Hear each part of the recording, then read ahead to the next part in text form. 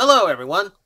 I thought it was time to go back and look at another Transformer toy line no one really talks about anymore, unless, of course, a brand new Black Optimus Prime comes out, and then it's the word that everybody is speaking. And by word, I mean three words robots in disguise. This was the 2001 Transformer toy line in America, born from car robots out in Japan. And it's a weird line when you think about it because we view it as filler. Because essentially, in America, that's exactly what it was. However, to look at the bigger picture, it actually did a lot for the brand, and it introduced a lot of conventions that we kind of take for granted now. So, before we begin, let's go into a little bit of the background information behind the show and the series itself, and we'll just kind of look at the history really quick. So for starters, we have to look at the American side of things. Beast Wars did great, so they followed it up with Beast Machines, which is, you know, much more high concept series than Beast Wars was. It didn't go well. Uh, toy sales weren't great, viewership for the cartoon wasn't great, and because of that, we missed out on a series called Transtech, which we got to talk about at some point down the line too. But point is, a sequel series was planned for Beast Machines that got cancelled because of the low performance of the toys. In fact, there were several toys produced for Beast Machines that never made it to retailers because by then the show was and the toy line was pretty much DOA. You know, at that point it was easier to just, you know, show, like cut it off before any more tooling got made, which would just be more expensive and cost Hasbro more money. Meanwhile, on the Japanese side of things, Beast Wars 2 and Beast Wars Neo didn't really perform the way Takara wanted. The sales were lacking in both series, and Beast Wars Neo especially kind of brought everything down, and they were kind of at a point of desperation. What we got as robots in disguise, they had as car robots, which was rumored at one time to be Transformers 2000. And no, it was never called that. It was always called Car Robots, which is a reference to Car Robo, the subline from Diaclone that actually gave us most of the original Transformers line. It was the very first time that Transformers in any generation tried to throw back to the classics and the originals to try and capture on nostalgia. Now, at that point, the original show is about 15 years old, so you hope that you hit that demographic that is now the young adult with with spendable income. But the truth is that really only hits when you're when you're at an age where you're passing things down to your own kids. So it's usually like 20 years after. So it was a little it was still a little bit too young, at least in Japan, to play on nostalgia. So car robots also did not do well. After this, Takara would actually shelve Transformers for a year while they re-strategized. The rumor for years was that this was basically the last hurrah of Transformers before they shelved it for an indeterminate amount of time until Hasbro talked them into doing a collaborative effort to create a new toy line that would work for both American and Japanese audiences. I don't know how much uh, confirmation there is behind that, but for whatever reason, that's exactly what happened, and that's where Armada comes from. However, Hasbro is not willing to let one failure stop it, and wasn't letting uh, wasn't willing to let a year go by without Transformer product on the shelves. So, Robots in Disguise becomes a thing. It's a quick, cheap dub of the cartoon. Uh, yeah, given in the style of like TV anime of the early 2000s. And most of those new toys coming over from Japan, mostly untouched. You know, basically just repackaged in American packaging, given new names, and kind of pushed out the door. So, uh, there was a lot of different things that were going on with that, and we're going to cover that. just to briefly touch on it, the show itself, it's I don't know. The show itself is un, un is like not spectacular. Let's call it that way. It's unimpressive to me. It's a pretty typical plot. There's nothing like really, you know, like complex or really that deep about it. It's just, you know, Predacons, you know, or I guess uh, Predacons trying to defeat Autobots, and, and then later on Decepticons get into the mix. Things like Scourge make things a little bit more interesting. The fight over Fortress Maximus makes things a little bit more interesting, but overall, it's on the lower end of Transformer shows for me. But that's not what we're really here to talk about. We are here to talk about the toy line. And the toy line was fascinating. So it starts with Optimus Prime, the return of Optimus Prime. The first time America had seen him since Machine Wars, and the first time he had gotten a completely new mold since the the, the end of G and since like the end of G1 with like the Action Master. This was a very big departure. Optimus Prime was always a semi truck. Now he's a fire truck, which makes sense for a heroic character. So good on them. Uh, it was also the first time since, uh, also the first time since Power Master Optimus Prime that we had an Optimus with a super mode, which was a really really cool one. Everyone loved this toy. Like this was like the toy to get in that entire series. Very, very good toy. I think this is the one that people wishes they would redo the most out of anything in RID. But yeah, um, yeah, it was great to see Optimus Prime back again. You know, classic fans ate it up. Of course they did. And, you know, American kids like, you know, kids like fire trucks. You know, that's always been a thing for in America as well. So, it's, yeah, it's kind of a perfect mix.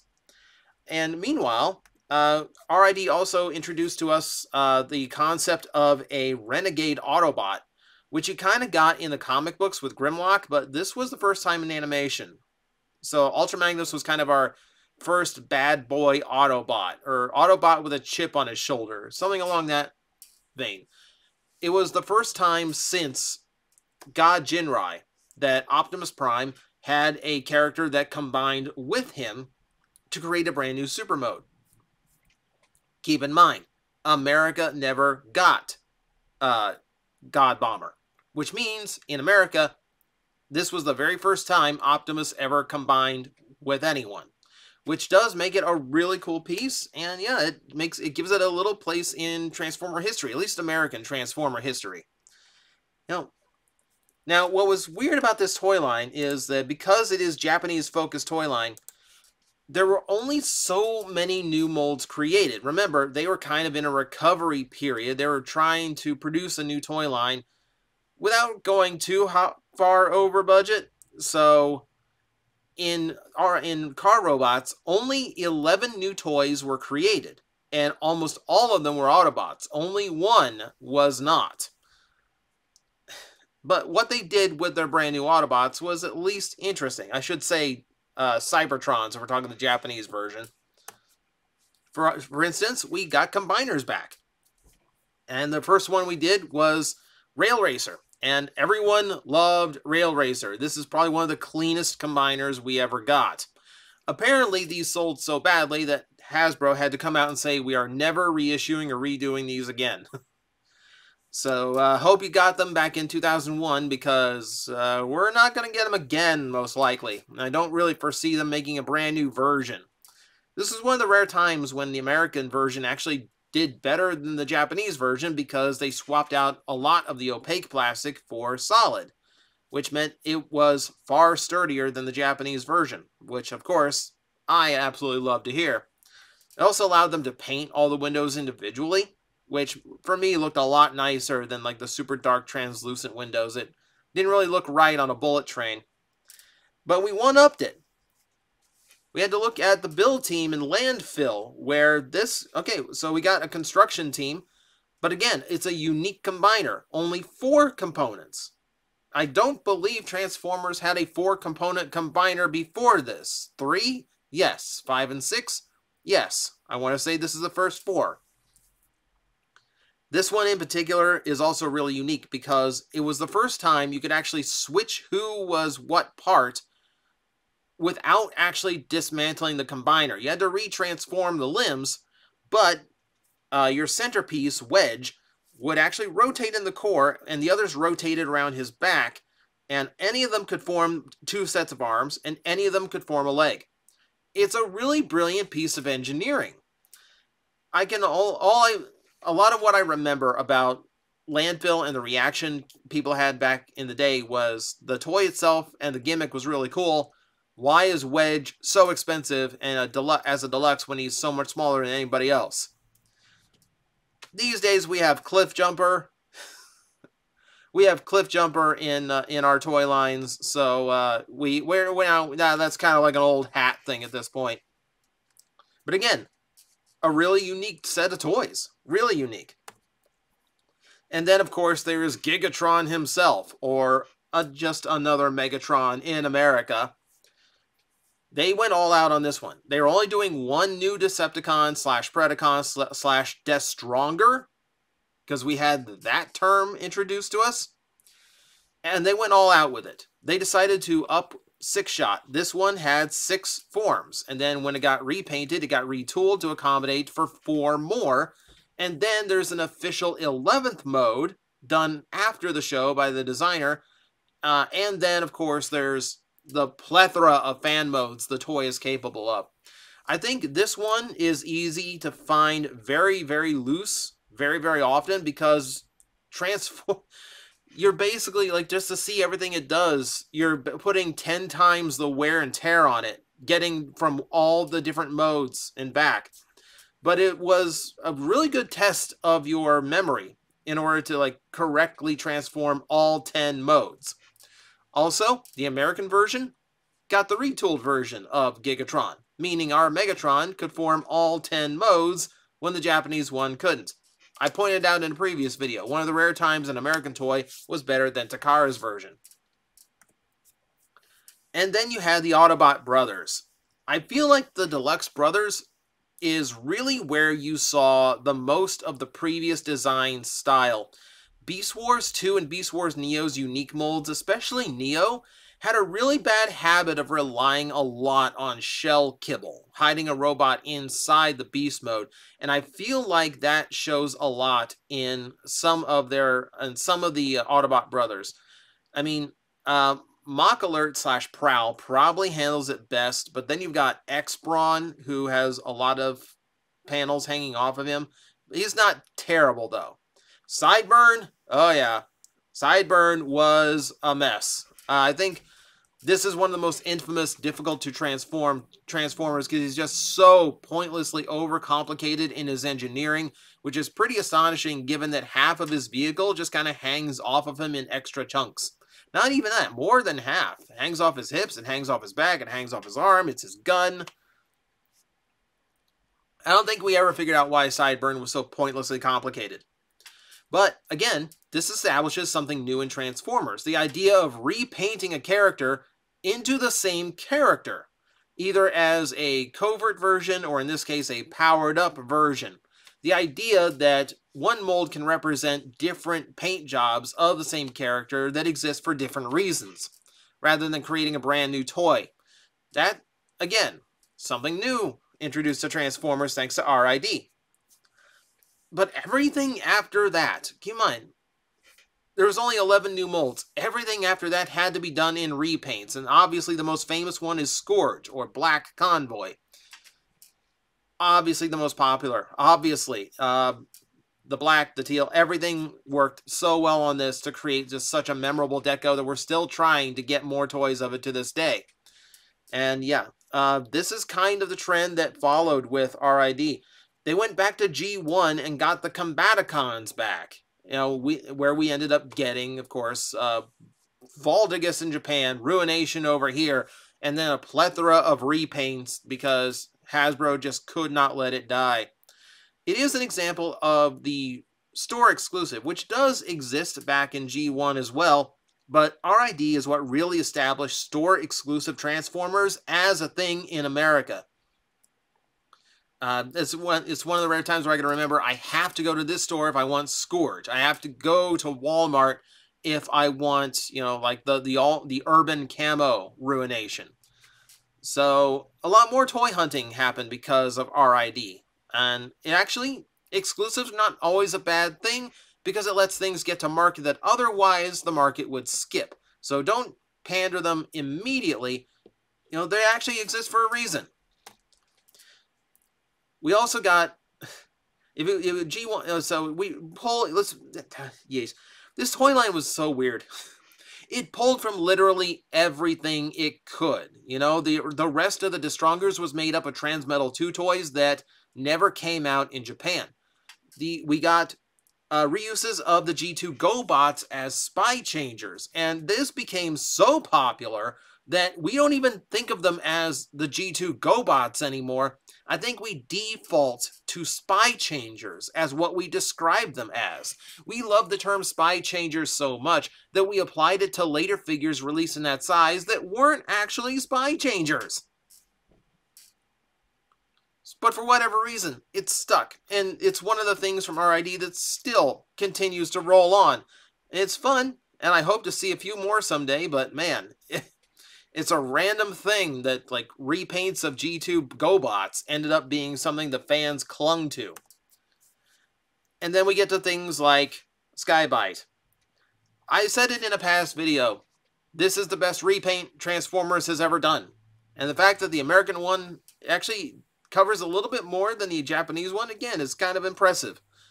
It's a beautiful job, and I think the perfection of the Transmetal 2 design, I wish every Transmetal 2 got this treatment. Man. So, even though this toy line was repetitive and did rely a lot on retools and remolds, it did so with gusto and did so with a bit of bravery that we hadn't seen before, producing some really classic designs and really cool new paint jobs for old toys. It also presented Hasbro a way of getting more figures that got canceled from Beast Machines out on American shelves. So here's the thing. In Japan, even car robots didn't really do that well, but in America, it kind of boomed interest again. Kind of helped by the fact that the anime came out at a time when anime was banging in America, you know, and they got on the Fox Kids block on Saturday mornings. Everyone wanted to be on that block which just means you've got more and more opportunity to do more. And that means more and more product needs to be produced to fill demand. So RID went from releasing this Japanese toy line and all the different repaints it created to releasing its own repaints and using molds that it never used before. Spy changers that came out in uh, the spy changers that uh, never came out uh, in G2 were now a thing. Remember how I said spy chains were just a thing? My brain defaulted to that. GoBot molds that were never released in G2 came out as new spy changers. Hasbro would uh, go on to release more Beast Machines molds that never got released, like Megabolt Megatron and Air Attack Optimus Primal. We got uh, we got repaints of Beast Machines toys in multi packs and singles. That's another thing I didn't even touch on, is that RID introduced the idea of multi-pack figures as well. Spy Changers were packed two per, uh, two per box. And then uh, for the Mega Class, you could have one larger figure inside or three smaller basic class figures. The Deluxe class was was uh, patterned out with some like normal deluxes and then some two pack it was an interesting time. It was kind of a Wild West time to see how things kind of got packed together. Now, of course, it's not the first multi pack we ever saw. Beast Wars did it as their preview pack of Optimus and Megatron, but this is the first time it became a regular thing, and it was very common to see multi packs around this era. But man, it was just a landscape for Hasbro to basically just do whatever. Whether, you know, however many figures it took to fill out a price point, pack them in. Whatever paint job we kind of want to do, do it. What molds do we have lying around? Let's release them. What molds didn't we get a chance to repaint before? Let's repaint them. You know, when I talk Wild West, that's basically what it was. And RID in America did so well that eventually Hasbro started making brand new molds for it. Suddenly, this toy line that was supposed to be filler, it was supposed to just bridge the gap between Beast Machines and Armada, just put new product on the shelf, was suddenly in demand enough that Hasbro felt the need to make more. We got Spy Changer, Optimus, and Magnus. They didn't combine, they didn't have their smaller modes in Prime's case, but we called them Spy Changer because they were the small size. They're not Spy Changers. Let's get real. But that's what I mean. Like brand new toys started coming out alongside all these repaints. Only a few, don't get me wrong, this is still a cheap line, but it shows just how well RID was actually doing to an impressive degree, to the point where when Armada came out, Transformers actually had an air of momentum to it that it had lost from Beast Machines. Since then, the representation for Robots in Disguise is pretty limited. You get the occasional throwback to Fire Convoy uh, or Ultra Magnus in the Siege line. You get a brand new Skybite here and there. I think he is the character that's progressed Sometimes I think even more so than Black Convoy because the dub of Skybite, because the dub was inaccurate, by the way, made him so much more fun and endearing as a character. So I like that he lives on amongst all things. And of course, there are things like Rail Racer, uh, the Fire Convoy style, uh, Landfill Team, Spy Changers, that fans still tend to latch onto and hope to see return someday. You know, and we we're in the middle of a legacy trilogy that can do whatever, so who knows? But that is your overview of Transformers Robots in Disguise 2001. For something that was supposed to be a filler, it very may well have saved interest in Transformers and got a lot of collectors back into it. I think a lot of collectors just really like to see Autobot and Decepticon logos again, let's be real here. But that that is the history of RID. Thank you for joining me. Uh, I hope you enjoyed this trip down memory lane. I'm sure some of you watching might be too young to have experienced this toy line. It's worth going back and checking out because it's a fascinating period in Transformer history. And for those who have been around this franchise long enough, man, do you remember how crazy it was trying to like go around town trying to track down of all things in the year 2001 the G1 Combaticons?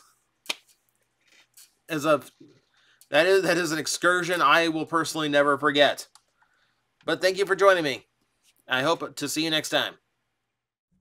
Guys, I am facing the most powerful enemy any YouTuber can face, the algorithm, and I need your help to defeat him.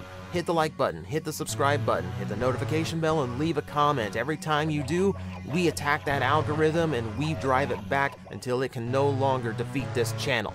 Thank you very much.